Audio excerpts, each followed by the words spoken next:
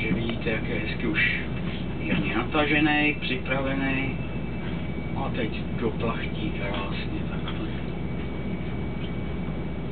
Zase se zakouří trošku.